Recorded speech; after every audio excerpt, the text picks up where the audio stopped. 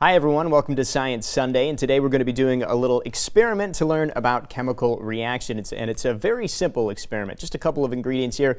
All you need is some white vinegar and some eggs. Now you can use any type of eggs, but I'm going to use these beautiful Easter eggs that my girlfriend made because we have them this time of year. And I'm in specifically going to be using just the shell from the egg. And all we have to do is take that eggshell, or the whole egg if you prefer, put it in a little glass container or any container will do, and then just pour a little bit of the vinegar on top, just enough to cover up that shell or the egg. And you're going to start to see some changes pretty quickly as soon as you drop that vinegar in. You're going to be seeing some bubbles forming on the eggshells, and that's the chemical reaction taking place.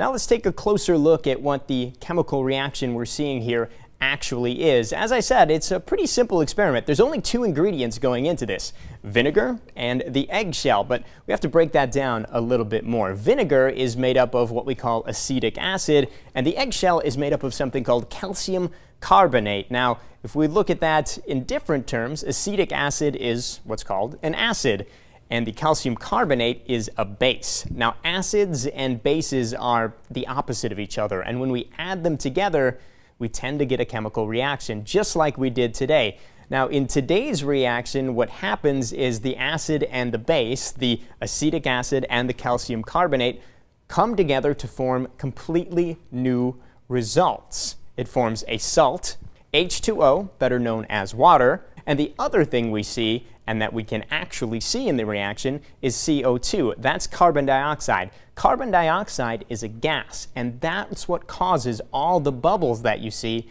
when you add the vinegar to the eggshell.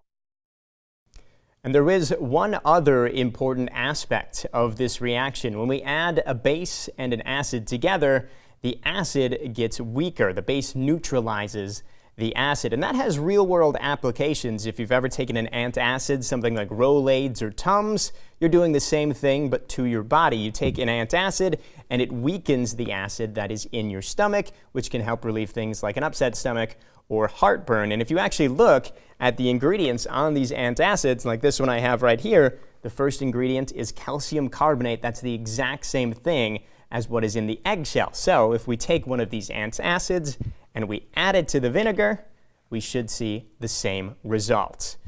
Now, if you missed any steps from this experiment today, you can find the full experiment online at turnto23.com. Brandon Michaels, 23ABC, connecting you.